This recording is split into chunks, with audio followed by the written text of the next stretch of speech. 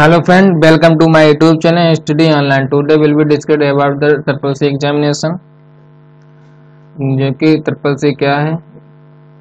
और advantage of course triple C course को कैसे करें? फुल एडमिशन प्रोसेस और ट्रिपल सी परीक्षा कब और कहाँ और कैसे होगी? न्यू सिलेबस वीडियो शुरू करने से पहले आप लोगों से रिक्वेस्ट है कि वीडियो शुरू से अंत तक देखें जिससे कि आपको डाउट क्लियर हो जाए। अगर फिर भी कोई डाउट बचता है तो आप कमेंट सेक्शन में लिख सकते हैं। चले, शुरू करते हैं। कि ट्रिपल सी की फुल फॉर्म क्या कोर्स ऑन कंप्यूटर कंसेप्ट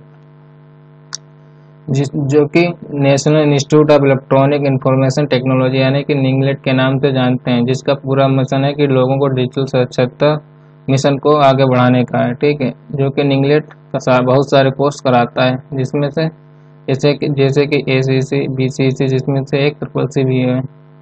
और जिसका हेडक्वार्टर न्यू दिल्ली में और जिसकी स्थापना 9 नवंबर उन्नीस में हुई थी, जो गवर्नमेंट ऑफ़ इंडिया के द्वारा चलाई जाती है। अब हम बात करते हैं कि हमें ट्रिपल सी कोर्स क्यों करना चाहिए। और इसके क्या क्या फ़ायदे हैं, ठीक है?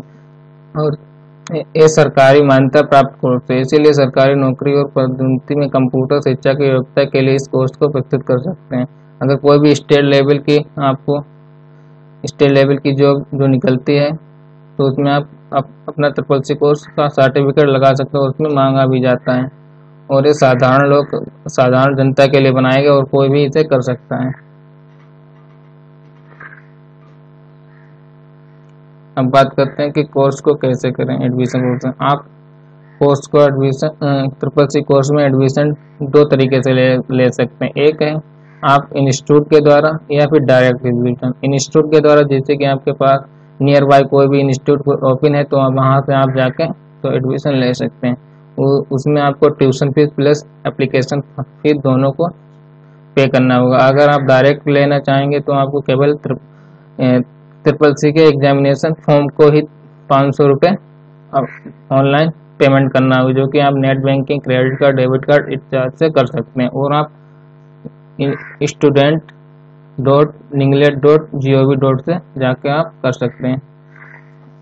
डायरेक्ट डिग्री लेने से फ़ायदा कि आपको एक महीने के लिए पढ़ना होगा और आप और आप तुरंत जाके एग्जामिनेशन फॉर्म एग्जामिनेशन पे दे सकते हैं, जो कि हर एक मंथली बाय एग्ज़ाम होता है। और बात करते हैं कि ट्रिपल सी परीक्षा कब और कहाँ और कैसे होगी। निंगलेट कोर्स पूरी एग्ज़ाम पूरे साल चलता है, जो हर महीने में आप एग्ज़ाम दे सकते हैं। एग्जामिनेशन फॉर्म आप अपने स्टेट के कोई भी डिस्ट्रिक्ट में आप भर सकते हैं एग्जामिनेशन सेंटर। और जो हर एक महीने में आपका शनिवार के दिन एग्ज़ाम होता है, और एडमिशन और एडमिट कार्ड आप अपने मोबाइल से भी डाउनलोड कर सकते हैं, और कहीं भी साइबर कैफ़े से भी डाउनलोड करा सकते हैं। जो अब इसके एग्ज़ाम के बारे में बताएँगे कि एग्ज़ाम पूरा हंड्रेड क्वेश्चन होते हैं और जो कि मल्टीपल चॉइस क्वेश्चन होते हैं और प्रत्येक क्वेश्चन एक अंक का होता है। यानी कि सौ अंकों की परीक्षा होगी, जिसमें कि उत्तीर्ण होने के लिए पचास परसेंट आप लोग, आपको सौ क्वेश्चन में से मिनिमम पचास प्लस करना होगा, ठीक है?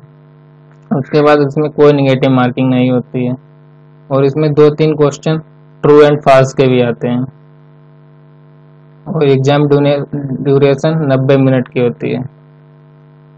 अब बात करते हैं, इसमें पासिंग मार्क क्या है? इसमें पासिंग मार्क ग्रेड सिस्टम होता है, जिसमें 50 प्लस 50 से चौवन आएँगे तो आपको डी मिलेगी पचपन से चौंसठ नंबर आएँगे तो सी ग्रेड मिलेगी, पैंसठ से सत्तर आएगी तो बी और तो पचहत्तर से पचासी ग्रेड लाओगे तो आपको C grade A A grade मिलेगी सॉरी ग्रेडिंग सिस्टम होता है और प्लस एट्टी फाइव से चलाएँगे तो आपको यस ग्रेड मिलेगी। करेक्ट आंसर करेंगे तो। अब बात करते हैं कि new syllabus for triple C जो कि अगस्त 2019 से लागू है। इसमें टोटल आठ चैप्टर हैं। आपको पहला चैप्टर इंट्रोडक्शन टू कंप्यूटर पढ़ना है, कि कंप्यूटर का इसके जनरेशन इसके बारे में थोड़ा बहुत पढ़ना होगा। मल्टीपल चॉइस क्वेश्चन भी इसके आते हैं, एक आध क्वेश्चन और उसके बाद बात करते हैं introduction to GUI based operating system तीसरा चैप्टर है हमारा एलिमेंट वर्ड प्रोसेसिंग और चौथा चौथा चैप्टर होगा हमारा स्प्रेडशीट और पांचवा होगा introduction to internet and W W and web browsing इसके बारे में आपको पढ़ना होगा अच्छे से, इससे ज़्यादा क्वेश्चन आते हैं और कम्युनिकेशन एंड कोलोब्रेशन इससे क्वेश्चन आएँगे और एप्लीकेशन प्रेजेंट प्रेजेंटेशन इससे एक आध क्वेश्चन आपको बनाना आना चाहिए कि कैसे क्या होता है, कहाँ से ओपन होता है, कौन सा सॉफ्टवेयर होता है।